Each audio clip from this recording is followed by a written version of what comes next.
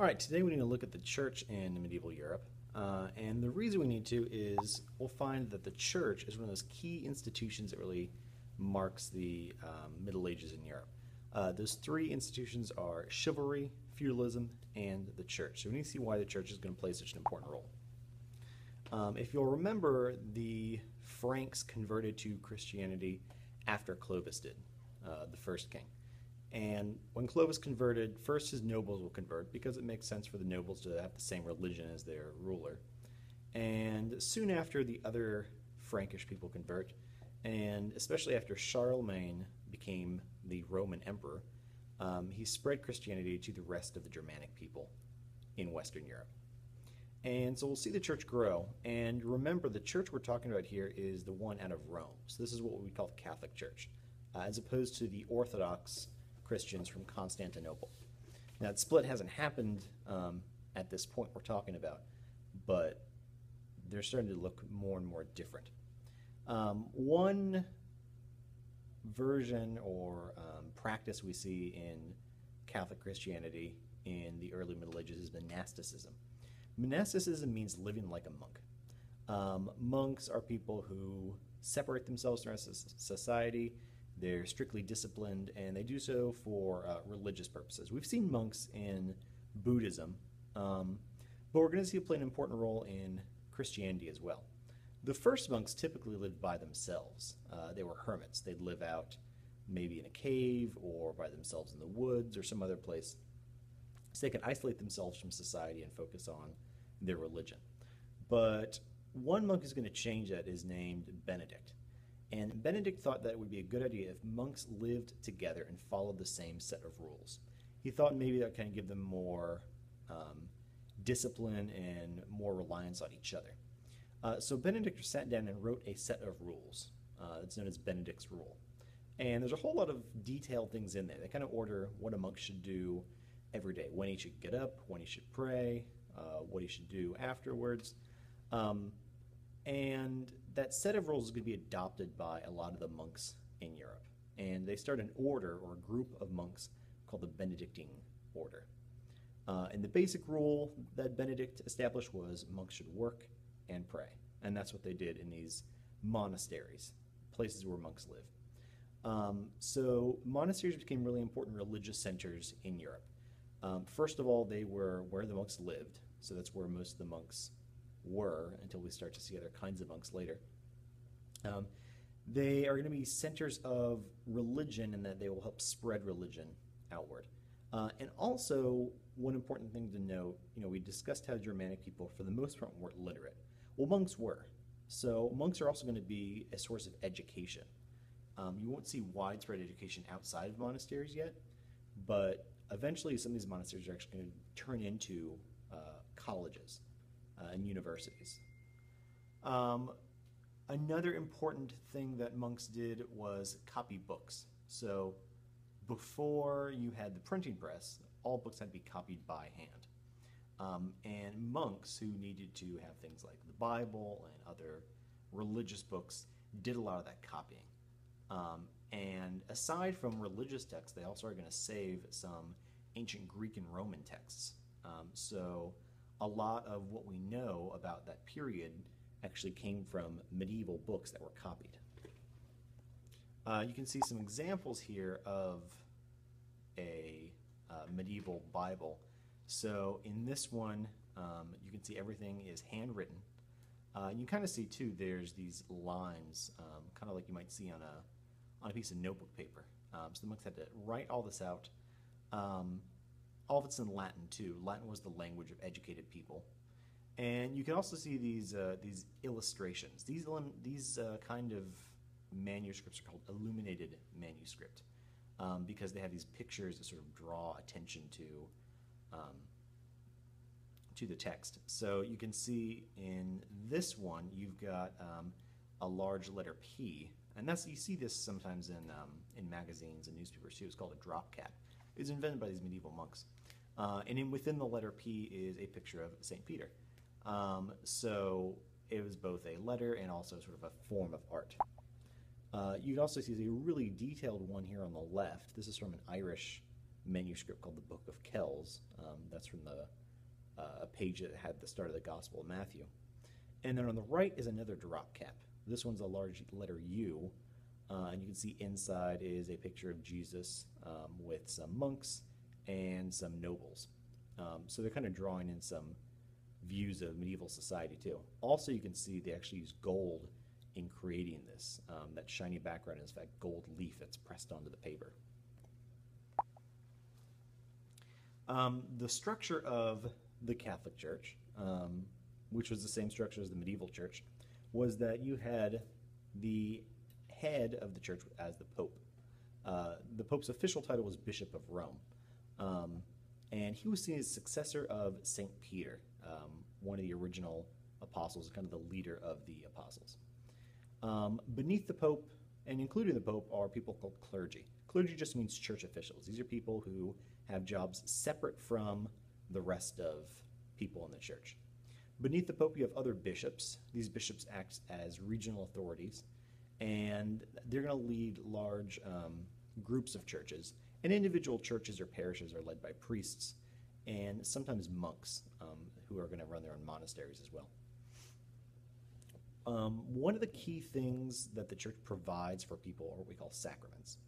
Um, a sacrament in Catholic Christianity are rituals that are believed to transmit grace to believers. And Christians believe these were necessary for salvation. In other words, uh, if you don't get sacraments from the church, you wouldn't go to heaven. And one thing to remember about the Germanic people, um, even more so than Romans, is they were very, very religious, even to the point of superstition. So the church is going to play a really important role in their lives. Uh, they want to make sure they can receive the sacraments, um, like baptism, communion, confession. Uh, they want to be able to receive these regularly. And to do that, they have to be in good standing with the church. So, church is going to play a really important role for your average uh, medieval Christian. Uh, one important role we see the church play is in the creation of the Holy Roman Empire. We already talked about how Charlemagne was crowned emperor of the Romans by the Pope. Um, and after the Carolingian Empire fell, uh, you see it sort of revive under a German king named Otto I. And Otto actually got his power by making an alliance with the church. Um, and after he allied with the church and the church gave him approval, he's going to defeat the other princes in Germany. And then in 962, um, he's crowned uh, emperor, the same title that Charlemagne had.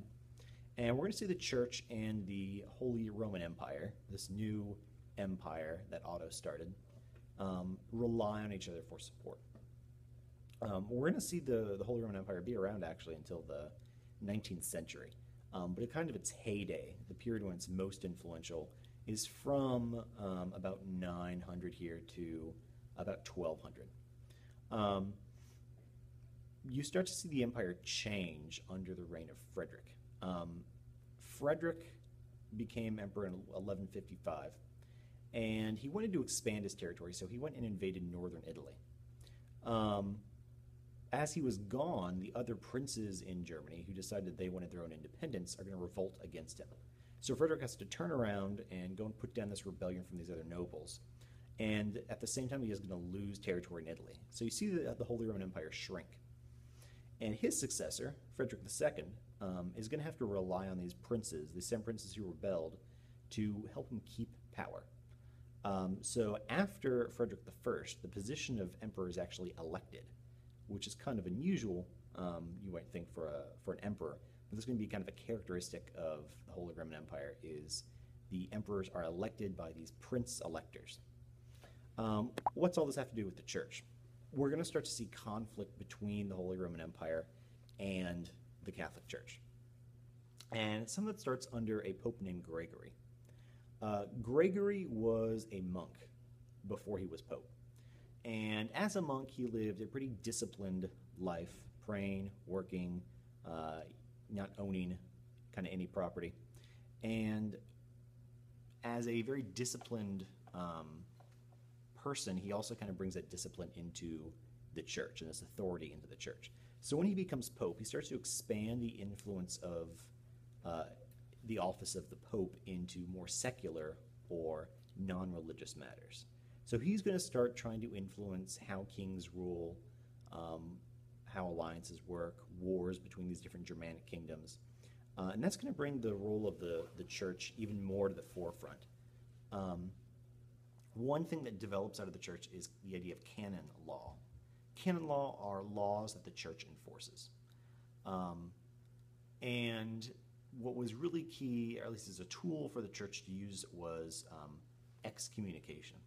Excommunication means to be excluded from the sacraments. And as we talked about just a few minutes ago, um, being excluded from the sacraments means you don't get to go to heaven. So, for the very religious Germanic people, that's an important thing. Now, you're not going to see your average, you know, Germanic peasant be excommunicated.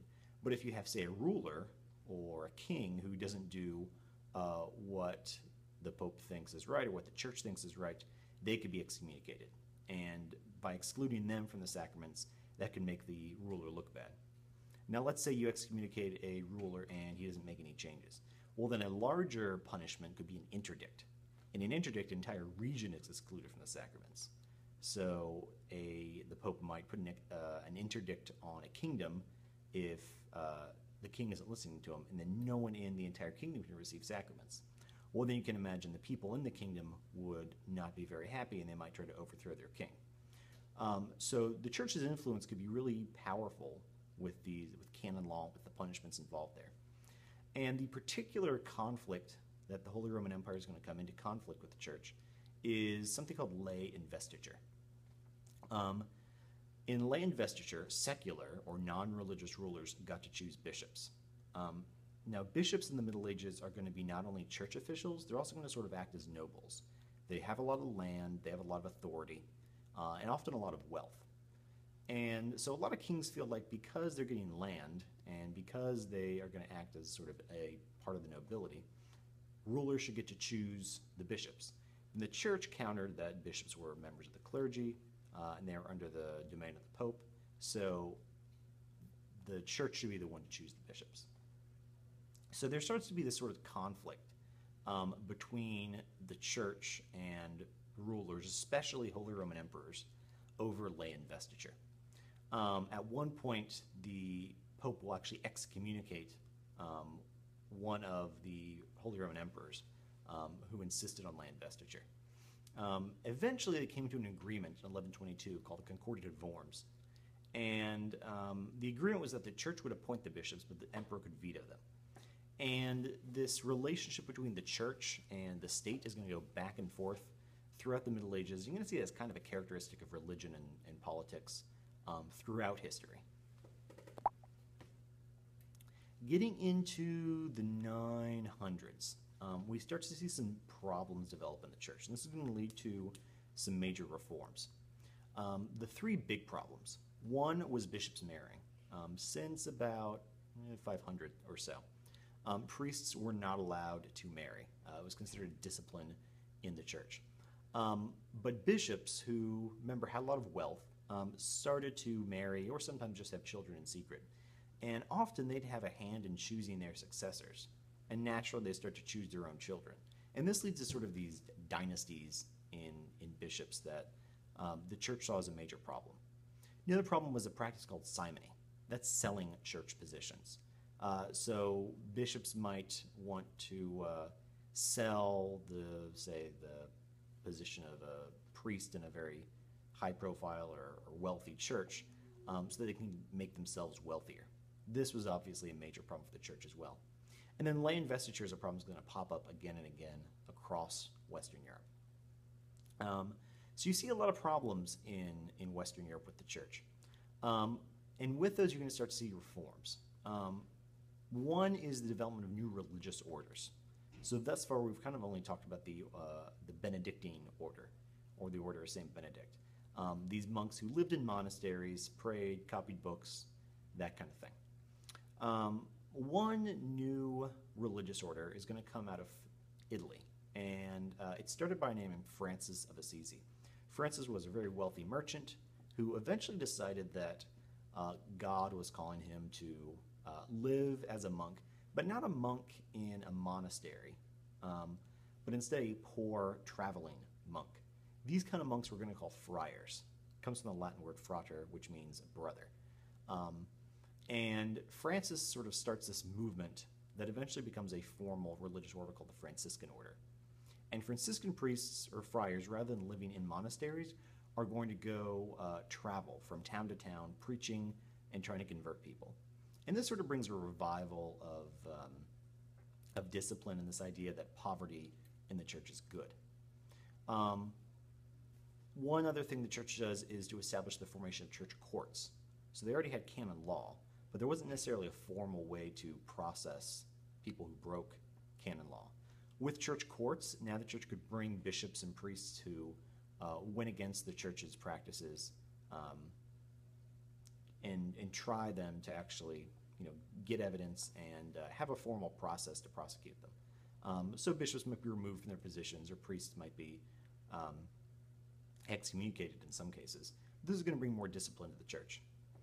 And then you also see the construction of um, new cathedrals um, in churches. And the style they're going to use is called the Gothic architecture. It's named after the Goths uh, that we saw invade Rome because it's going to come out of that region. But it's a new style of architecture that is going to be uh, kind of characteristic of churches in the late Middle Ages. Um, so before we see Gothic churches, um, you have what's called Romanesque churches.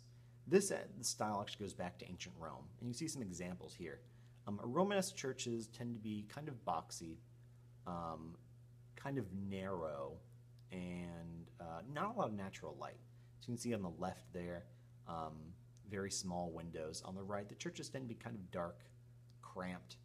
Um, but with new forms of architecture, we start to see these very um, more elaborate and um, taller churches in the Gothic style. So here's a good example of a Gothic church called um, the Kölner or the Cathedral of Cologne. Um, you can see very tall spires, lots of arches, very tall windows. Um, all this is sort of the idea is it elevates the eye and the mind to God and religious ideas. Uh, and here's the inside of a Gothic church in um, Paris uh, called La Sainte Chapelle. And uh, this one has a really good illustration of both these really tall windows, mostly made of stained glass. Um, and, and, remember, people in the Middle Ages, for the most part, couldn't read. So a lot of what they learned actually came from looking at the stained glass. There'd be pictures of um, religious practices or stories from the Bible or other things on there. You'll also see at the top of this picture this uh, characteristic called the, the um, barrel vault. They basically take an arch and then put an arch across it and then um, copy that pattern, and that makes this big sort of um, stretched out arch that can make for much taller, um, more open architecture. Uh, another important architecture feature of the um, Gothic style was the flying buttress. So one problem, the reason Romanesque churches had such small windows is you make them too big and the walls fall down. Uh, and that's because of the weight of the roof and the walls. But they figured out that a lot of the weight was being pushed outward, not downward, and you could add these um, supports called flying buttresses They're just sort of attached to pillars on the outside of the building. Uh, and this allowed for much taller structures and larger windows. Um, so you see this is one from actually Notre Dame in Paris. Um, and that's a characteristic of a lot of Gothic architecture. And here's another example from uh, Norway. Um, again, you can see very tall spires, lots of windows, uh, and lots of these pointed arches.